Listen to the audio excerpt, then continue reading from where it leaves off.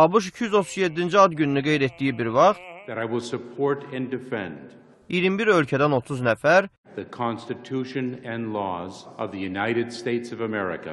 Amerika vətəndaşı oldu.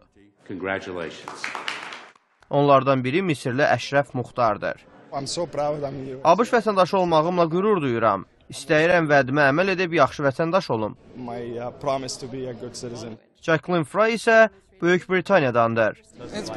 Çox çətin oldu, uzun yol idi, amma sonu yaxşı oldu. Bu uzun yolun sonu ABŞ Maliyyə naziri Jack Lew'nun rəhbərliyi ilə keçirilən and içmə mərasimi olub. I pledge allegiance Atası Polşadan mühacirət etmiş birinci nəsil Amerikalı olan cənab Liu yeni ABŞ vətəndaşı olanları alqışlayıb.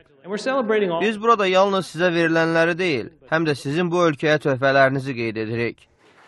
Bu yeni Amerikalılar uzun illər səylə çalışaraq ingilis dillərini mükəmməlləşdirib, Amerika tarixi, hökuməti və s. öyrənib və bəziləri qeyri-müəyyənlik içərisində gözləyib. Ancaq Panamadan olan Herbert Crooks deyir ki, o bugünün gələcəyinə əmin olub. Daxilimdə mən özümü Amerikalı hesab etmişəm. Bu, mənim xəyallarımın gerçəkləşməsidir. Amerikalılar müstəqilliklərinin növbəti ilini qeyd etdiyi bir vaxt, bu 30 yeni ABŞ vətəndaşı da bayramı qeyd edənlər sırasına qatılıb.